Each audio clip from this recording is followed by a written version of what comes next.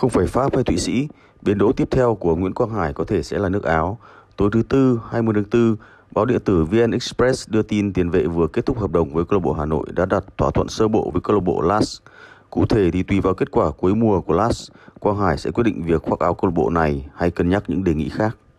Cũng theo VN Express thì nếu không có gì thay đổi, Quang Hải sẽ bay tới Đức vào tháng 5 rồi sang Áo để hoàn tất những thủ tục cuối cùng trước khi ký hợp đồng có thời hạn 3 năm với LAS.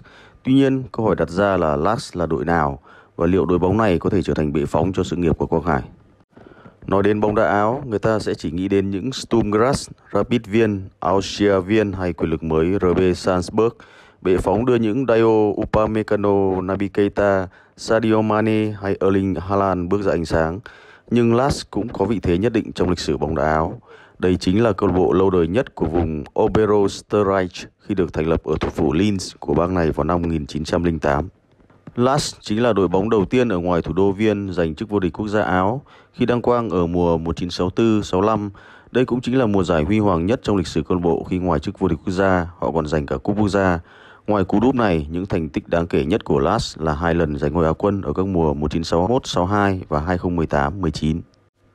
LAS cũng là khách quen tại đấu trường châu lục khi liên tục góp mặt ở các cúp châu Âu trong 4 mùa gần đây. Mùa 2019-20 họ từng lọt vào đến vòng playoff của Champions League nhưng bị chặn lại trước Club Brugge.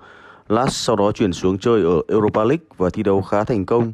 Đáng tiếc là đến vòng 1-8, đội bóng này lại phải chạm trán Manchester United. Kết quả là họ đã để thua với tổng tỷ số 1-7 trước Quỷ Đỏ nhưng vẫn kịp ghi dấu ấn với một bàn danh dự tại sân Old Trafford. Sau đó một năm, LAS tiếp tục lọt vào vòng bảng của Europa League và dấu ấn đáng nhớ nhất mà họ để lại là trận hòa Tottenham với tỷ số 3-3. Còn mùa này, đội bóng áo cũng đi đến vòng 1-8 của UEFA Europa Conference League trước khi thất bại trước Slavia Praha. Điều này có nghĩa là nếu đến LAS, Quang Hải sẽ có cơ hội thường xuyên góp mặt ở các cúp châu Âu. LAS cũng là một câu lạc bộ rất có tiềm lực. Theo công bố hồi tháng 7 năm 2021, ngân sách của họ là sấp xỉ 15 triệu euro, nằm trong top đầu của giải vô địch quốc gia Áo. Và tuy đang tạm thi đấu ở tại sân One Stadium chỉ có 7.870 chỗ ngồi, LAS đã bắt đầu khởi công xây sân mới từ tháng 10 năm 2021. Tổ ấm mới mang tên Raiffeisen Arena này có sức chứa 19.080 chỗ, đạt tiêu chuẩn cấp 4 của UEFA và dự kiến được khánh thành vào năm 2023.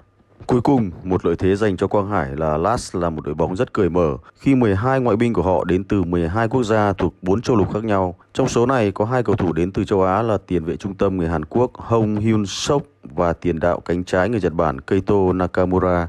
Cả hai vẫn còn rất trẻ khi mới ở tuổi 21-22 và cũng chưa từng khoác áo đội tuyển quốc gia, nhưng đều đã có hơn 1.000 phút ra sân mùa này. Vậy thì không có lý do gì mà Quang Hải, ngôi sao số 1 của đội tuyển Việt Nam không chiếm được vị trí tại nước Áo.